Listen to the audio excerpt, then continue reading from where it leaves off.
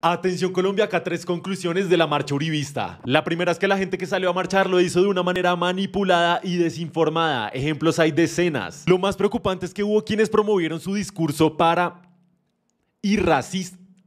Por lo que con esto la oposición nos demuestra no haber logrado que sus simpatizantes construyan un criterio y den un debate con altura y sin desinformación. Es más, de lo que sí se han encargado es que la gente reproduzca su discurso discriminatorio y hasta delictivo. Porque sí, el paramili y el ras son delitos. La segunda es que aún y con los medios tradicionales haciéndoles propaganda, la convocatoria a la marcha uribista fue un fracaso. Medios tradicionales como El Tiempo del que es propietario Sarmiento Angulo, un evidente opositor a la reforma tributaria que pondrá a pagar a los más ricos de este país, le dedicaron 10 artículos a favor de la marcha uribista y sin titulares estigmatizantes como lo hicieron con las protestas de 2021. Y aún así tuvieron que editar imágenes duplicando personas o como Revista Semana que hizo uso de un video de la posesión presidencial para hacerlo pasar como la marcha uribista. Por último, el gobierno les garantizó su derecho a la protesta, pero ellos no a quienes se opusieron a su marcha. Lincharon y agredieron a personas que cuestionaron su marcha e incluso golpearon a periodistas. Lo que demuestra una vez más, lamentablemente, que el uribismo, estando en el gobierno o en la oposición, acudirá a la violencia